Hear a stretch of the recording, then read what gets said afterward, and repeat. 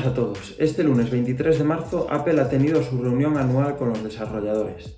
En ella nos ha presentado las novedades en sus sistemas operativos, como son para el iPhone el iOS 14, para Mac el Mac OS Big Sur.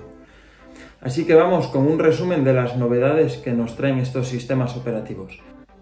Empecemos con iOS 14, el sistema operativo de los iPhone y el que más novedades incorpora. Sin duda, la novedad más llamativa son los widgets, para interactuar con las aplicaciones y mostrar más información en la pantalla de inicio. Sin necesidad de entrar dentro de la aplicación podremos hacer pequeñas gestiones o consultas que antes era inevitable tener que abrir la aplicación. Estos widgets van a renovar por completo la apariencia del iPhone. Supone un cambio brutal en la estética de las pantallas de inicio como las conocemos hasta el día de hoy en iOS. Tendremos hasta un pequeño buscador de widgets e incluso un widget que nos permitirá ir pasando de un widget a otro haciendo scroll con el dedo. Por supuesto, tendremos varios tamaños para los widgets en relación con los huecos que ocupan habitualmente las aplicaciones, con más información o menos, huecos de 2x2, 3x2. Otra novedad importante es App Library, para organizar nuestras apps. Incluso lo hará nuestro iPhone de forma automática. Podremos ocultar pantallas en el desplazamiento horizontal. Podremos crear subcarpetas, carpetas dentro de carpetas. Y la función de buscar nos añadirá una pantalla con todas nuestras aplicaciones organizadas, incluso las ocultadas en pantallas de inicio. Tendremos la función Picture and Picture, como ya teníamos en iPad, pero esta vez en el iPhone. Esta función nos permitirá ver vídeos en segundo plano sin necesidad de tener abierta la aplicación en la que estamos viendo ese vídeo. Probablemente en YouTube solo estará disponible para los usuarios de YouTube Premium. Podremos eh, reubicar la ventanita del vídeo a lo largo y ancho de la pantalla y variar su tamaño. También ha cambiado Siri. Y no, no se ha vuelto un poco más inteligente, que era lo que le hacía más falta pero cambia la animación de Siri sin que salga en la pantalla interrumpiendo pues, lo que estamos haciendo. Podremos enviar mensajes con voz desde Siri respondiendo a un mensaje concreto, cosa que no podíamos hacer hasta el día de hoy. Aún no sabemos si estará disponible para WhatsApp esta última funcionalidad. En resumen, un Siri un poco más compacto y menos molesto a la hora de interactuar. Las llamadas entrantes tampoco bloquearán toda la pantalla si estamos con la pantalla del iPhone encendida. Tendrá un pequeño recuadro donde nos permitirá contestar la llamada o rechazarla. Se añade una nueva aplicación, Translate, una nueva aplicación de traductor nativa de Apple. Según dicen, es muy segura porque trabaja offline, sin necesidad de una conexión a Internet, protegiendo nuestras traducciones de usos inapropiados gracias a esa mayor privacidad.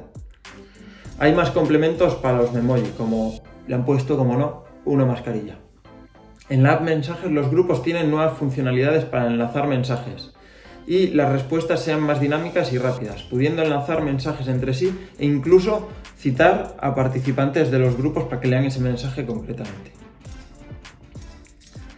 La aplicación Mapas ofrece más facilidades para encontrar sitios, sugerencias de lugares de interés, eh, como son por ejemplo restaurantes, nuevas rutas en bici eh, en ciudad, Rutas pues para silla de ruedas que nos evita pues, pasar por puntos de escalera, eh, añade puntos de carga eléctrica para vehículos, en definitiva, se va pareciendo un poco más a Google Maps. No hay ninguna innovación destacada que sobresalga respecto a Google Maps, aunque muchas de estas nuevas funciones no están disponibles todavía en todas las ciudades. En España, de momento, en ninguna. CarPlay también nos trae algunas novedades, como son los fondos de pantalla, y nos permitirá personalizar mejor nuestro vehículo. Y la gran novedad es que está Apple trabajando con BMW y con Ford para abrir y arrancar los coches con el iPhone. Incluso podremos compartir con otros contactos que tengan iPhone la posibilidad de acceso al vehículo y conducirlo sin que ellos lleven la llave, solo su iPhone. Compatible con iPhone 11 en adelante, pues solo estos modelos tienen el chip U1 de seguridad de Apple. Otra nueva utilidad del iPhone es App Clip, que viene siendo con pequeños carteles con un NFC que iremos encontrando en pequeños comercios por la vía pública, nos permiten acceder a una parte de una aplicación sin necesidad de tenerla instalada en el iPhone. Estará integrada con Safari, mensajes, mapas. De momento no estará disponible tampoco en España. Ahora vamos con las novedades de iPad OS, el sistema operativo de los iPad, que incluye las mismas novedades que iOS 14, pero algunas novedades más exclusivas para el iPad. En la aplicación de fotos y archivos tendremos una barra lateral para mover más fácilmente las fotos y los documentos entre las carpetas. Spotlight es igualito al de los ordenadores de Mac. Spotlight nos permite hacer búsquedas más rápidas y dinámicas. Es flotante sobre la pantalla, sin molestar tampoco de forma excesiva. Otra novedad importante ahora es que con el Apple Pencil tendremos reconocimiento de texto escrito a mano en diferentes aplicaciones. O sea, que no tendremos que utilizar el teclado eh, digital del iPad. Bueno, y todo esto además de las nuevas funcionalidades que incorpora iOS 14 en los iPhone.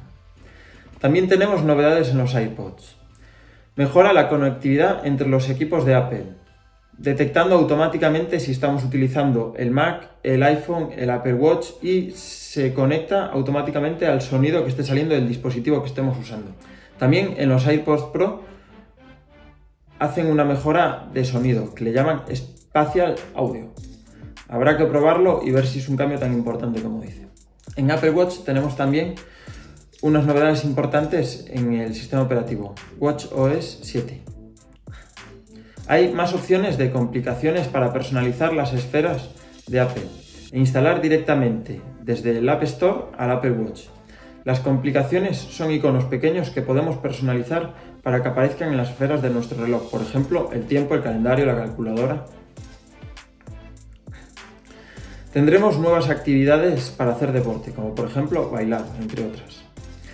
La app de actividad cambia de nombre y a partir de ahora pasa a llamarse Fitness se va a poder monitorizar el sueño, la función más esperada y que no se entiende la demora cuando ya había aplicaciones de terceros muy buenas que usaban el Apple Watch para monitorizar el sueño.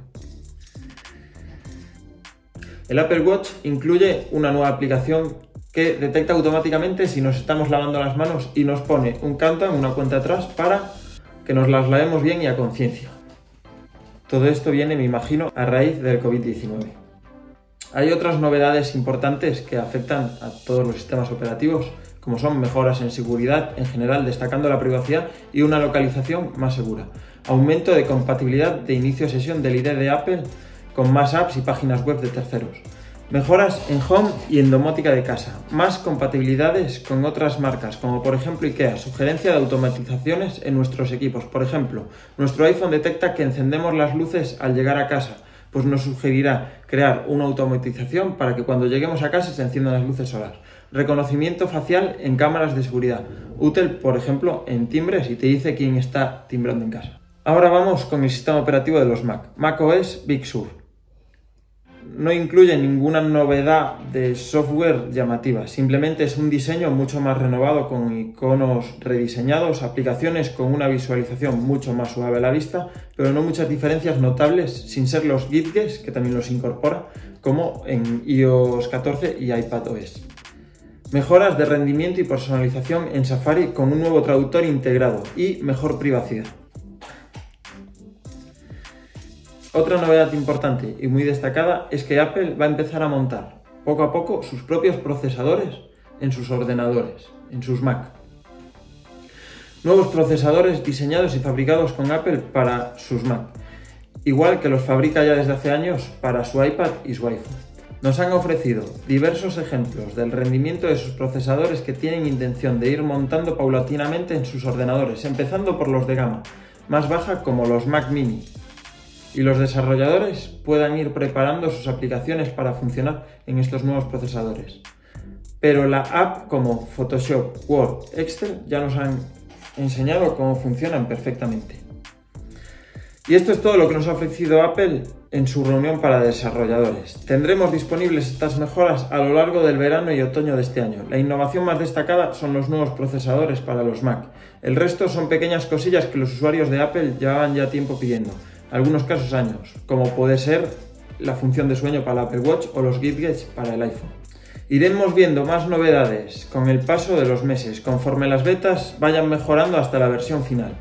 Un saludo y si te ha gustado este vídeo no te olvides de suscribirte y darle a la campanita.